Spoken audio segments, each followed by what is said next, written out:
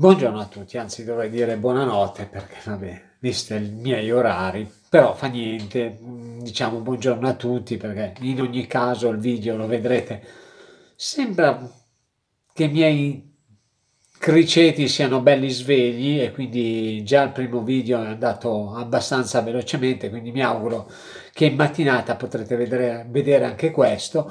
Non vi sto a far rivedere la maglietta che vi ho fatto vedere prima perché dobbiamo parlare di MotoGP e Gran Premio della Repubblica Ceca.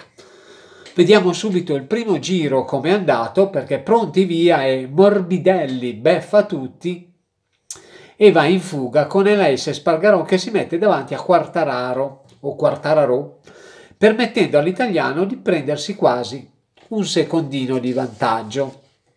Quindi dopo la partenza e il primo giro abbiamo Morbidelli in fuga, una Aleix Spargarò clamorosamente al secondo posto, un Quartararo che si è lasciato un attimino sorprendere dal pilota della KTM se non sbaglio, terzo, quindi Pole Spargarò alle sue spalle, quindi poi Binder, Zarco che ahimè è partito maluccio, aveva fatto la pole position invece si trova sesto, al settimo posto Rins, all'ottavo Vignales, al nono Rossi e al decimo Petrucci.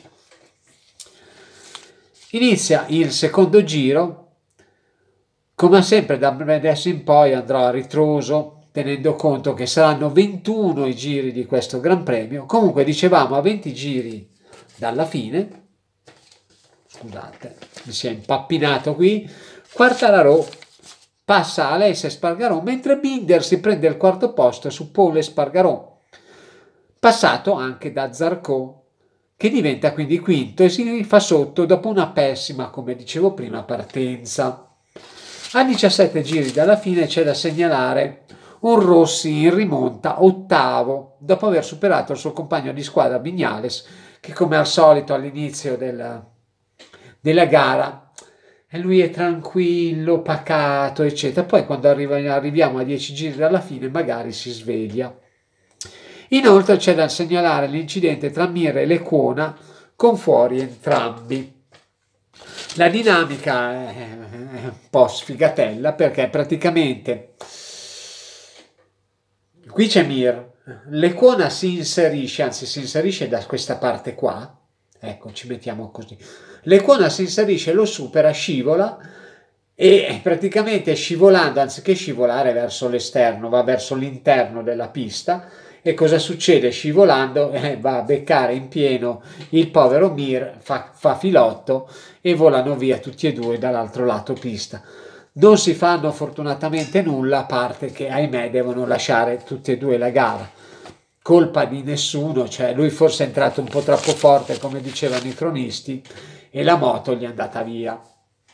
Intanto a 17 giri dalla fine Binder zitto zitto cacchio cacchio è terzo e marca abbastanza da vicino Quartararo che non riesce a scolorlarselo di dosso a 13 giri dalla fine Binder beffa incredibilmente Quartararo e si prende il secondo posto e adesso il pilota francese dovrà anche guardarsi le spalle da Paul Espargarò. Sempre a 13 giri dalla fine Paul Espargarò passa Quartararo ma proprio sull'ultima curva prima del traguardo va largo e gli restituisce praticamente la posizione, praticamente è andato, è andato a fare la curva modello battiscafo e come hanno detto i cronisti e quindi ciao, buonanotte. Meno male non ha perso anche un'altra posizione dietro, però è dovuto, si è dovuto riaccodare. A 12 giri dalla fine c'è un po' Spargaro che si tocca con Zarco eh, perché praticamente la pista è bella larga, no? Lui va un po' largo, va centralmente a fare questa curva e giustamente Zarco sta all'interno e fa la sua curva. L'altro cosa fa? Si allarga piano piano e va a toccare col capino la moto di, eh, di Zarco. Toccando col capino la moto di Zarco, che mentre perché era così, eh, la moto gli va via e però si incassa leggerissimamente, quindi diciamo che ha dato la colpa a Zarco del fatto che lui è uscito di pista. I commissari poi saranno d'accordo con lui e gli faranno fare una, un taglio di pista, diciamo una, un long run, come si suol dire, praticamente deve andare nella, fare una curva, diciamo, in esterno, nella corsia di emergenza va della pista, però alla fine della fiera non perde granché, si perde qualcosina, ma nulla di eclatante.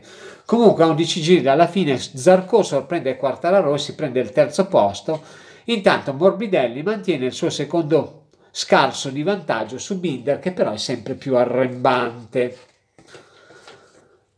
A nove giri dalla fine Binder è ormai vicinissimo a Morbidelli che sta facendo sempre più fatica. Forse le sue gomme cominciano ad essere in sofferenza, mentre invece quelle di Binder vanno che ha un piacere. E infatti a nove giri dalla fine, proprio nello stesso giro, perché comunque tenete conto che il circuito di appunto della Repubblica Ceca di Brno è molto molto lungo, è appena appena i piloti lo, lo, lo chiudono in poco meno di due minuti, un minuto e 57 più o meno. Quindi essendo molto lungo eh, ne succedono di cose in un giro. E quindi proprio in questo nono giro, a nove giri dalla fine, Binder, puff, salta Morbidelli e dice ma ciao, io vado a prendermi la prima vittoria in, uh, in carriera, forse, chi lo sa, e invece, come dicevamo, Longrandi penalità Zarco che comunque non perde nessuna posizione. Mi sono accorto, siccome mi faceva libidine questa gara, perché veramente ne stanno succedendo di, di cotte e di crude, che non vi avevo ancora ratificato la classifica, come si suol dire. Comunque, la classifica a sette giri dalla fine vede Binder al primo posto, Morbidelli al secondo, Zarco al terzo, Quartararo al quarto in difficoltà, Rins al quinto, Rossi al sesto, Oliveira al settimo, Alessia Spargarò ottavo, Nakagami nono e Vignares decimo che non si è ancora acceso. A cinque giri dalla fine Rins passa a Quartararo che a sua volta ha adesso attaccato come una cozza sullo scoglio anche Rossi che è pronto a sorpassarlo. E infatti non faccio in tempo a scrivere che Rossi è lì attaccato modello cozza sullo scoglio, che Rossi passa a Quartararo e si appresta a sua volta a raggiungere Rins, mentre anche Olivera salta Quartararo in grave difficolty. A quattro giri dalla fine, meglio che vi ragguaglio sulla classifica perché sono successe un po' di cosine, abbiamo sempre Binder primo, Morbidelli secondo, Zarco terzo, Rins quarto, Rossi quinto, Olivera sesto, Quartararo settimo, Nakagami ottavo e Spargarò nono e Miller decimo.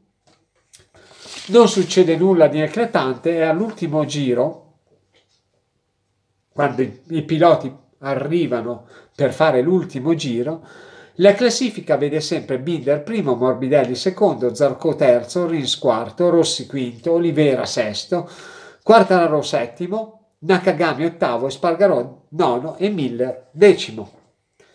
L'ultimo giro vi succede poco nulla, la classifica rimane invariata a parte gli ultimi due posti che si invertono perché praticamente Miller sorpassa Aleix e Spargarò proprio all'ultimo giro e si prende la nona posizione. Per il resto classifica confermata, quindi classifica finale del Gran Premio di Brno Brno, in Repubblica Ceca. Binder, prima vittoria, io ho continuato a dirlo fin dalla prima, prima gara, attenzione a questo ragazzo sudafricano, che mi sembra molto molto interessante, come l'anno scorso parlavo di Quartararo, quest'anno parlo di Binder.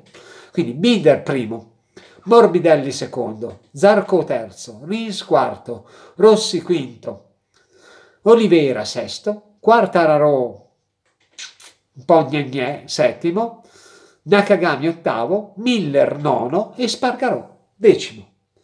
Detto questo, io vi saluto, vi ringrazio, è stato veramente un gran premio.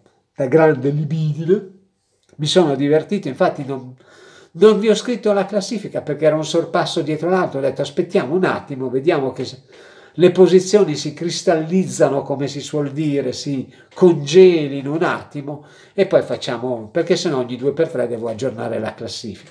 Comunque, libidine, ma quando il micione non c'è, i topolini ballano. In attesa che rientri Mar Markets, questi se ne approfittano e danno spettacolo. Quando rientrerà Mar Markets, mi sa che Mar Markets prende e a meno che non fa disastri come nella prima gara, dice signori ciao ciao, io me ne vado, perché nella prima gara ha fatto di tutto e di più, a momenti va a vincere, poi è ricaduto un'altra volta. Poi ahimè si è fatto male, eccetera, eccetera, adesso deve stare fuori fino a metà settembre, salta ancora un paio di gare. Mondiale un attimino scappato via perché come ben sapete avremo soltanto 13 gare pare, a meno che non ne aggiungano qualcuna e quindi è un mondiale a metà, ha voluto farlo per forza perché le show must go on. Però francamente speriamo poi da marzo dell'anno prossimo, aprile-marzo, aprile, quando si ricomincerà nuovamente a parlare di moto mondiale, anche Formula 1, di vedere veramente i soliti 20, 21, 22 Gran Premi e non queste cose un po' arzigogolate, come si suol dire. Detto questo, io vi saluto, vi ringrazio, ci vediamo ai prossimi video. Ciao!